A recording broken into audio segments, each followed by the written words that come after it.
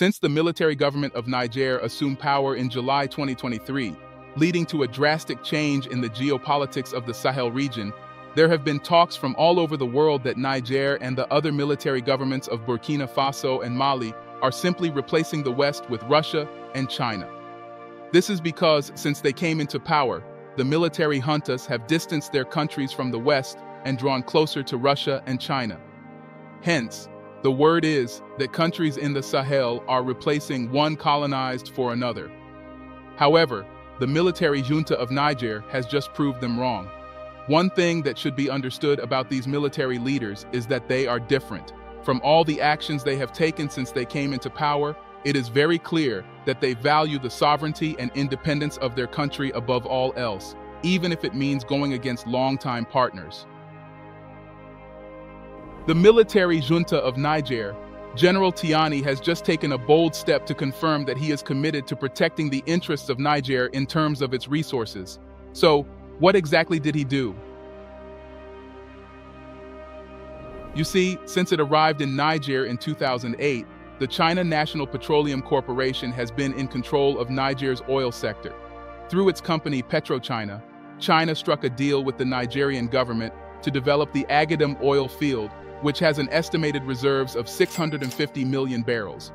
As part of the deal, PetroChina invested in the construction of the Soraz refinery, located 460 kilometers away in the southern city of Zinder, and eventually led to Niger becoming an oil producer in 2011. According to the agreement, China holds a 60% stake in the refinery, which has a capacity of 20,000 barrels per day and mostly supplies the domestic market, while the government owns the remaining share. In 2019, China took a step further to construct the 2,000 kilometer oil pipeline between the Agadem field and the Beninese port city of Cotonou to expand oil production in Niger. Currently, the construction of the project is complete and Niger is set to produce 110,000 barrels of oil per day. No doubt, China invested these millions of dollars in Niger's oil industry to have a share in future revenue gotten from the sale of oil, which is not a bad thing. After all, the agreement is supposed to be mutually beneficial to both Niger and China.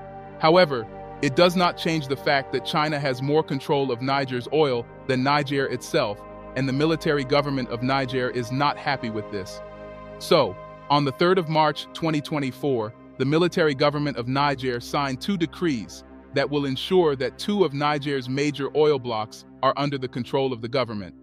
The two oil blocks, areas where oil is found and extracted, are the Bilma oil block and the Agadem oil block, both of which were under the control of China's oil firm.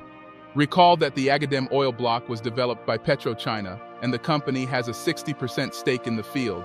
However, the new decree grants Sonidep, Niger's state-owned oil company substantial access and control over the Bilma oil block and the Agadem oil block. What this means is that unlike before, Niger will now be fully involved in the production of oil and the development of the oil sector. So, why did the military junta of Niger decide to take this decision? According to the director of Sonidep, Colonel Ali Sebu, the military junta of Niger, General Tiani does not have any issues with China, its current partners, and will ask for their services when and where needed. However, he said that Niger has its own local engineers and professionals that specialize in the extraction of oil, refinery, and development of petroleum products, and the government plans to utilize their services. Therefore, Niger will only seek the services of foreign partners when and where it is necessary. The director also added that regarding the expertise needed, it can be bought or rented, and it is up to the authorities in Niger to look for technical and financial partners to support the country. He added that the country is in another dynamic and level where it is Niger first before anyone else. In his own words, it is not good for a country to take itself hostage. I have nothing against these partners. They are very good and have helped us to produce, and perhaps we will continue to work with them on other aspects. And if there are any aspects we need their help, we will ask for it. Honestly, this is fantastic news, not just for Niger, but for Africa, because it's always been a question on our minds about why African governments always solicit the technical services of foreign countries. Meanwhile, There are people in their countries who went to school to learn the same thing and have no jobs. And even if the citizens do not have the technical know-how, what exactly is stopping the government from employing foreigners who have this knowledge to teach their citizens so that they no longer have to depend on foreigners' technical skills? Well, it's great news that the military junta of Niger is seeing this from this perspective and has taken the necessary step. It's time for African countries to stop depending on the West or any country at all for technical skills. Africa is blessed not just with mineral resources, but also with human resources. Africa is blessed with people who are smart, intelligent, and innovative, and it is high time that African governments start to take advantage of what it has. Instead of depending on foreign aid and foreign help, African governments should focus on supporting local innovation and technology. This is one major way that African countries can develop. The continent needs to start producing valuable products with its abundant resources, which it can sell in the international market. This is how the countries in the world grew to become what they are today.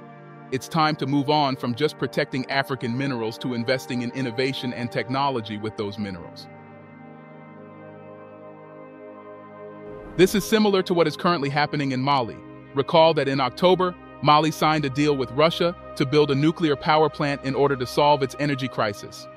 According to recent news, the construction will begin in the next two years, but the interesting thing is that the Malian military government made it a part of the deal that Russian experts in the construction of the nuclear power plant would begin to teach Mali's local engineers and those involved the technician know-how.